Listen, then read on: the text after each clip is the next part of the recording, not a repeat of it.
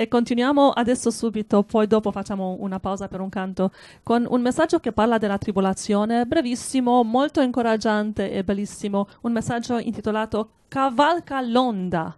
Fratelli, cavalchiamo l'onda, perché viene la tribolazione, però non dobbiamo essere affogati da tutto quello che succederà. Possiamo rimanere sopra le onde. Grazie Signore.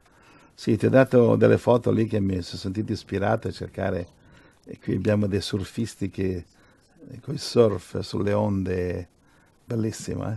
Allora, Signore Gesù, aiutaci, speriamo che siamo stati chiari.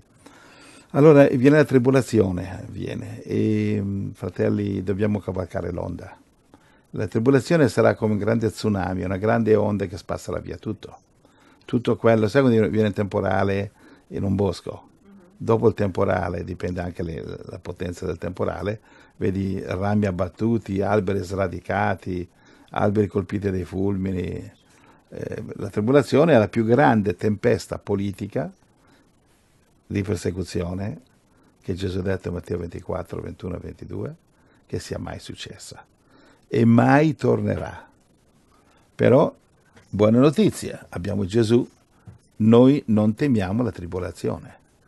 Perché? Perché se siamo nella volontà di Dio, i suoi angeli saranno con noi. Dio fece galleggiare la famiglia di Noè e l'arca proprio su quelle acque che distruggevano i malvagi. Quindi l'acqua della morte del, per il mondo era l'acqua della vita per Noè. Ecco che Dio sa, sa usare le cose in positivo e negativo. Quindi l'acqua fu come una spada a due tagli. Morte per il senza Dio, vita e salvezza per il popolo di Dio. Ora viene adesso un altro tsunami ed sarà uno tsunami di persecuzione, ma noi possiamo cavalcare l'onda se siamo nella volontà di Dio. E allora noi siamo il popolo di Dio, dobbiamo imparare. Imparare a cavalcare nello spirito.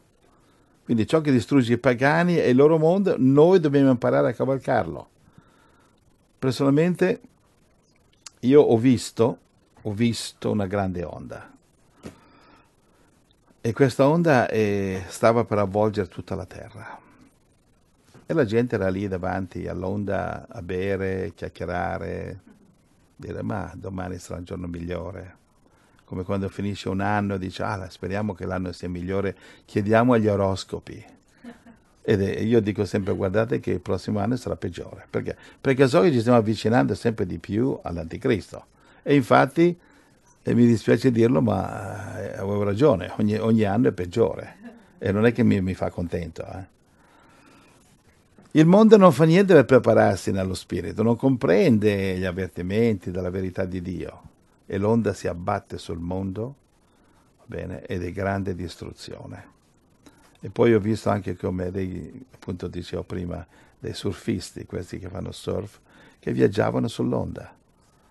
L'onda, l'onda rugge, furiosa, li vorrebbe travolgere, ma i surfisti rappresentano i figli di Dio. I loro occhi sono rivolti su di Lui, sul Signore. Ascoltano la sua parola, la obbediscono, sanno cosa fare. Dio ha dato loro tutte le istruzioni necessarie. Loro le seguono e l'onda non può fare nulla. La sua stessa forza che distrugge altri e la salvezza di quelli che la sanno cavalcare. Li trasporta.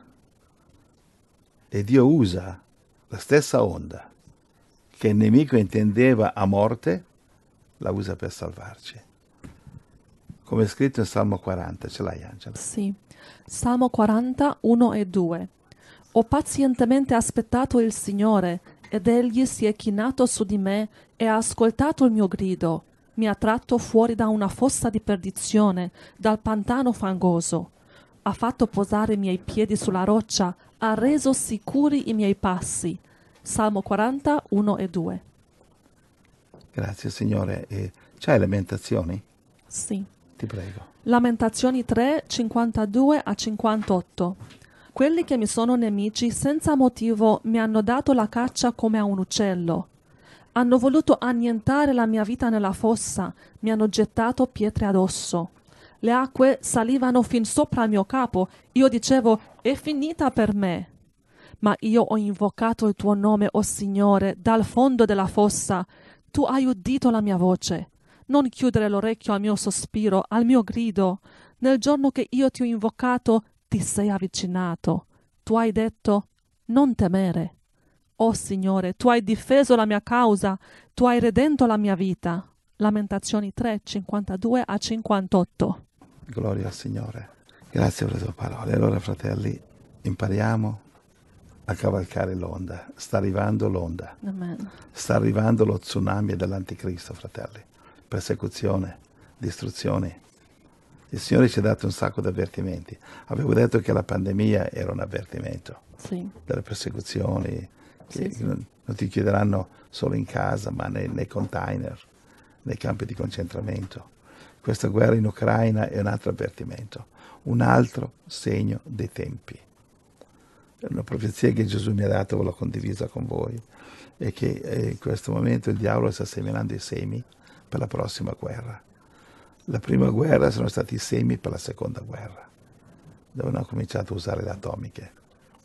L'odio, hanno trattato male la Germania, i semi che hanno provocato la, la seconda guerra mondiale è stata provocata dai semi della prima. Adesso in Ucraina stanno seminando i semi per le prossime guerre che verranno. Credibile l'odio che stanno seminando. Numero uno l'America, che è sempre la prima colpevole da mezzo secolo a questa parte. Grazie Signore Gesù. Grazie Gesù, amen. Gloria Bene, io, que- e questo è il messaggio, Dio vi benedica. Cavalchiamo l'onda, Dio ci aiuti. Ascoltiamo il canto di Hebron, passa altrove.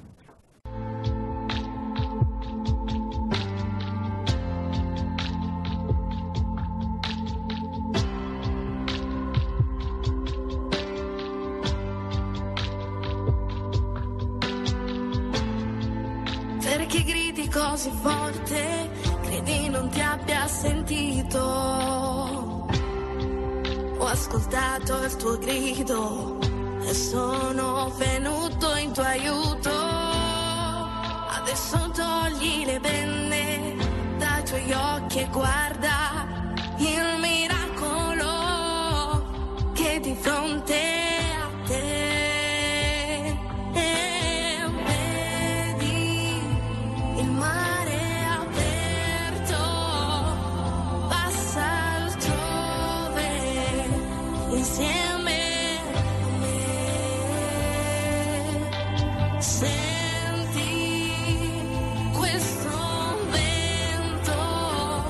lo mando per